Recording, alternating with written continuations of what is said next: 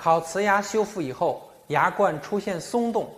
有各种原因，需要我们来检查确定。如果提示患者的话呢，他可能有以下几点：第一个就是粘接剂失效了。我们的烤瓷冠是通过粘接剂粘固到基牙上面的，如果粘接剂溶解失效，那么烤瓷冠就会松动甚至脱落。对于有一些装盒冠修复，那么烤瓷冠松动可能附带着是装盒在松动，有可能装盒出现了折断。也有可能是牙根出现了折裂，从而带动着烤瓷冠的松动。